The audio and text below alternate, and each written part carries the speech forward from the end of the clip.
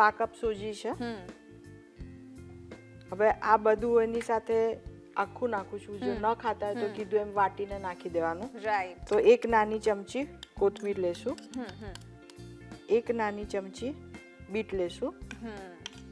એક નાની ચમચી ગાજર લેશું. ઓકે કાંદો ઓપ્શનલ છે.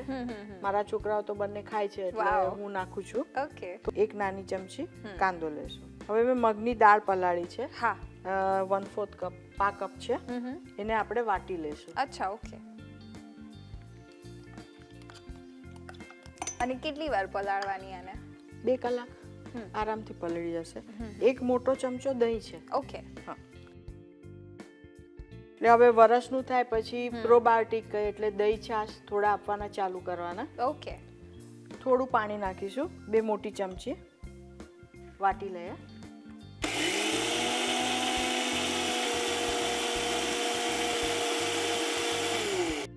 વાટેલી દાળ આમાં નાખી દઈશું.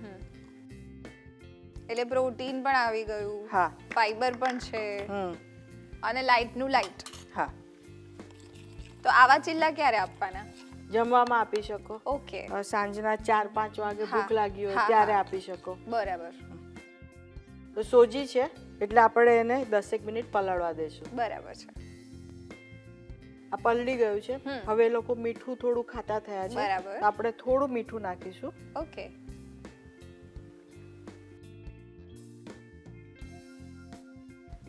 લાગે કે બહુ જાડું છે તો થોડું પાણી નાખીશું. ઓકે.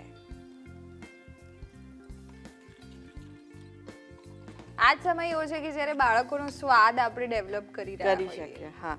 અને તે કીધું ને એમ આપણે જે ખાતા હોઈએ ને એ ખાતા કરી દો ને તો પછી જુદું જુદું બનાવવાનું ને એ બધી ખાવાનાની કોઈ ખટપટ રહે નહીં. યસ સૌથી પહેલા ઘી લેશું.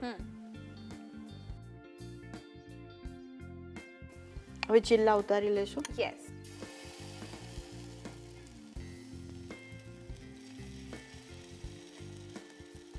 આમાં શાક નાખ્યું છે ખમણીને એટલે બહુ પાતળા તો નહીં થાય. હા હા.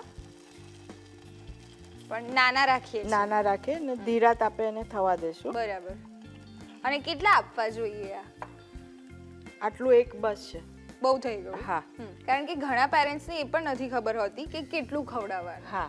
લાઈક દર કલાકે કંઈક ને કંઈક ખવડાયા કરતા હોય ખવડાયા કરતા હોય અને પછી બાળકને ભૂખ જ મરી ભૂખ જ મરી જાય. એટલે એ ટેવ નહીં રાખવાની કે થોડું થોડું કચર બચર તમે ખવડાવ્યા જ કરો.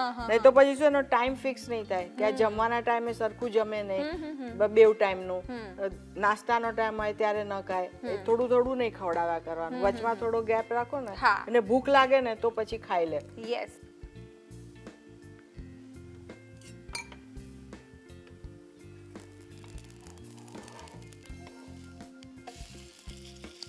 તમારા બાળકોને એવી ટેવ ખરી ફરી ફરીને ખાવાની કે બેસીને જમી લે?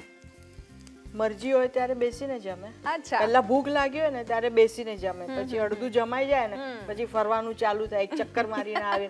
પણ અમે ઉઠીએ ને અમે જ્યાં હોય ત્યાં જ બેસીએ. ત્યારે ખાવું હોય તો આવ. તારી પાછળ હું નહીં ફરું. હા. એટલે હવે સમજી ગયા છે ચક્કર મારીને આવે ને પછી પાછું ખાઈ લે. અને તમે એમને શેમાં આપો છો? પીરસો છો શેમાં? મતલબ નાની થાળી રાખી છે ચાંદીની. ઓકે વાટકી ચમચી. આપણામાં કહેવત છે કે ચાંદીના વાસણમાં ખવડાવે તો બાળકની હેલ્થ માટે સારું છે. કારણ કે એના ગુણ થોડા એમાં ઉતરે છે. ખાવાનામાં. એટલે પીવાનો ગ્લાસ. એ બી આ ચિલ્લા તો છે ને મોટાને પણ ભાવે એવા હા. સાચે એ જ કહું છું. મરચું નથી નાખ્યું તમે તો લીલું મરચું નાખી શકો. રાઈટ અને કલર પણ એનો બહુ જ સુંદર સુંદર આવ્યો છે. ડીશ આપશો? એટલે મારા ખ્યાલથી તમારા ઘરમાં જો બે બાળકો હોય તો બંનેને ચાલે આ બ્રેકફાસ્ટ હા ચાલે આરામથી. થોડા મોટા બાળકોને આપવું હોય તો આના પર કંઈક ટોપિંગ કરી શકીએ આપણે? ચીઝ. Cheese yes. ચીઝ આપો તો પછી પતી ગયું. અને આમાં આપણે ફ્રૂટ્સનું કંઈ વેરિએશન કરવું હોય તો કરી શકાય? આમાં તમે કેળું છે સફરજન છે સફરજન ખમણીને આવું જીની ખમણીથી કરીને કેળું છુંદીને મિક્સ કરીને ગળ્યા કરવા હોય તો સરસ થઈ જાય. થોડો તજનો પાવડર નાખી દો. અને ગોળ નાખો. હવે તો ગોળનો પાવડર મળે છે તો ઓર્ગેનિક ગોળ મળે છે એ નાખી દેવાનો. Okay right. તો તૈયાર છે સોજીના ચીલા યસ